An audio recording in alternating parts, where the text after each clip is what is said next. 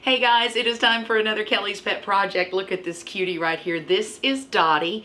And Taylor, what do we know about sweet Doddie? Well, she's four years old and she's just an awesome dog. She has the best personality. She's really spunky, but she'll let you cuddle her too.